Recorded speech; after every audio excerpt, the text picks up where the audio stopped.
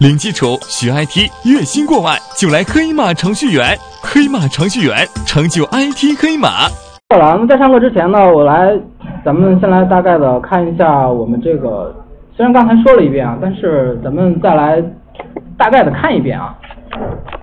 就说呢，这个是一个整体的课程安排。那么我们今天啊，第一天主要是讲一些基础的 Linux 命令。咱们基础班的时候其实也学过，但是现在咱们在讲的时候，我只讲用的频率非常高的，也就是说你在你工作以后啊，你就必须会肯定会用到的。像这些命令啊，我看他们 Java 那边也在也在讲，因为 Java 他们什么呢？Java 可以搞服务器吧，对吧？那搞服务器呢，他们也是需要在 Linux 操作系统下面呢去搭建这个服务器，那所以说他们也会讲一些 Linux 基础命令啊。那么咱们讲的就是现阶段讲这个命令呢，啊，基本上跟他们讲那个差不太多，但主要是。讲咱们肯定会用到的啊，就是说我讲的这些命令呢，希望大家呢一定要把它掌握了啊，把之前啊，如果你之前忘了，现在把它拾起来啊。这是我们今天第一天要讲的内容。那么第二天呢，主要讲一下 VI 编译器啊，VI 呢其实它就相当于咱们 Windows 下面的记事本啊，就说你如果你想作为一个合格的 Linux 程序员，那么这个 VI 呢必须要玩的特别溜啊，就说你要做一个文件的天然查改了，哎，这是必须。得使用这个 VI 啊，能够熟练的操作啊。比方说，你说我以后写程序，我用这个编译器啊，用这个 IDE 是吧？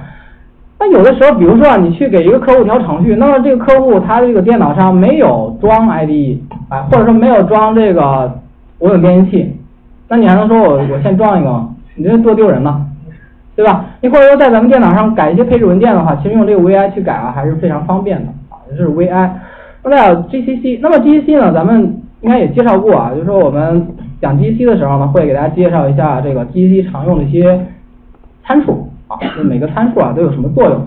那么再有呢，就是 GDB 调试啊，因为咱们在 Linux 下面，如果你不在不使用 IDE 的情况下，你只能使用 GDB 进行调试啊，就说，比如说我们这个项目，我就我就是配了一个 IDE，那就那可以啊，就是它比这个 GDB 要好用。啊，但是说假设说你没有 IDE，那你就只能使用 GDB，哎，所以说这个 GDB 里边涉及到的还是一系列的命令，啊，还是命令啊，啊，那这个后边 Makefile，Makefile 呢，它主要是一个项目的管理这样的一个工具啊，其实这个工具就相当于里边我们提供一个 Makefile 文件，然后里边写一些脚本啊，写一些脚本之类的东西啊，它里边也涉及到一些格式，涉及到一些这个语法啊，那这是关于 Makefile。但是这个 Makefile 呢，不需要大家呢掌握的特别深啊，因为你的工作以后啊，不需要你去写 Makefile，你的你掌握到什么程度呢？只需要能看懂就可以了。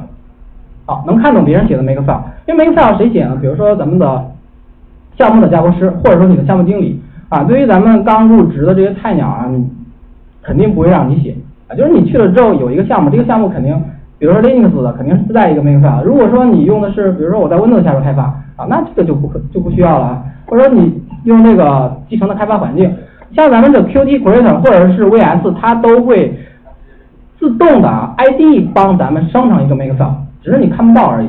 好，那这是一个。那还有啊，就是说第二天咱们要讲的比较重要内容，就是动态库和静态库的一个使用啊。静态库、动态库就是相当于咱们 Win Windows 下边的 DLL。在 Linux 下面呢叫做 SO。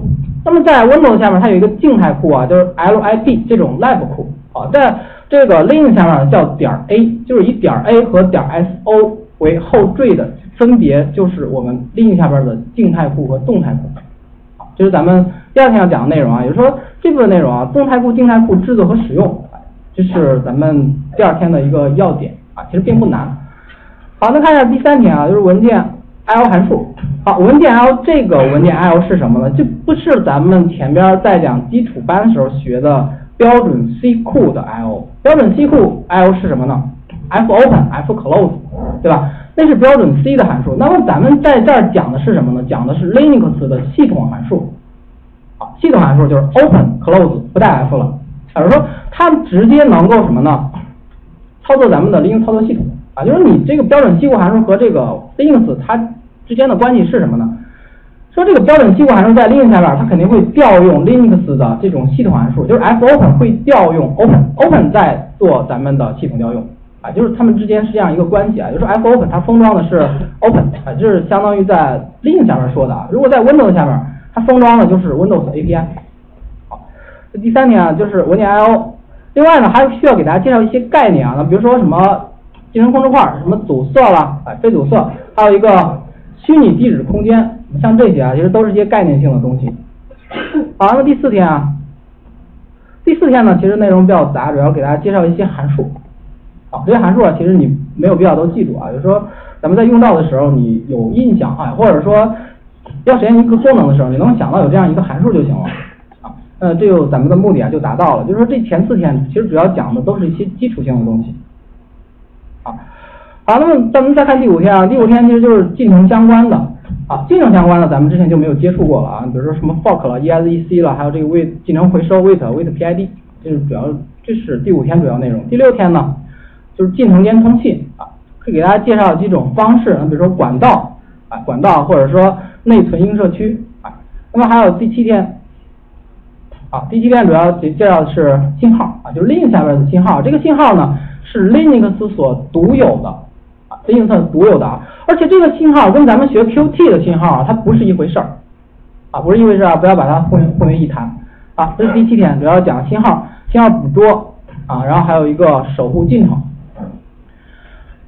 啊，那么这个第八天啊，第八天主要讲什么呢？线程啊，主要是讲线程怎么用，还有呢，线程回收、线程同步啊，就线程同步啊，是第九天，是第九天内容。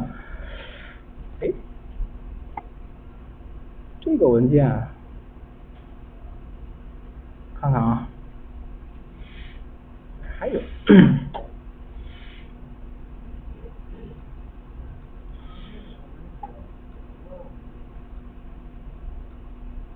看这个啊，这个应该是全的。好，那第九天啊，看一下第十到十四天，这我就没有详细的写了。十到十四天主要讲介绍网络编程相关的一些知识啊，网络编程相关的，比如说套接字，对吧？啊，套接字 socket，其实主要就是 socket。还有什么呢？还有还有一部分呢，除了 socket，还有一部分就是这个 I/O 多路转接。I/O 多路转接呢，其实就用到了一些。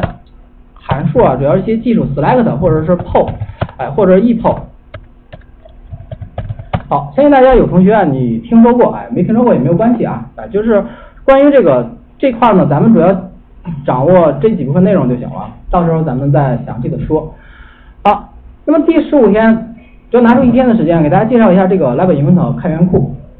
好，这是一天的时间，里边其实是涉及到一些大量的函数啊，这些函数的基本上。工作原理就是通过回调来实现的，回调函数啊，对回调函数有有理解吗？